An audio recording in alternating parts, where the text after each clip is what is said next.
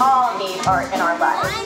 Whatever the genre, be it dance, or music, painting, or theater, we need art not just because it is nice to look at, but because art shows us what is possible. When done right, arts education isn't just about non-linear thinking or more creative thinking. It's not just a way to make sense of the world through art. It's a way to have some fun. I know that arts are important, not just for me, but for all kids.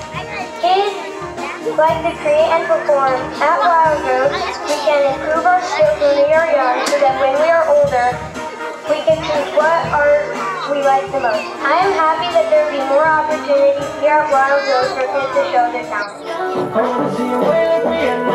I got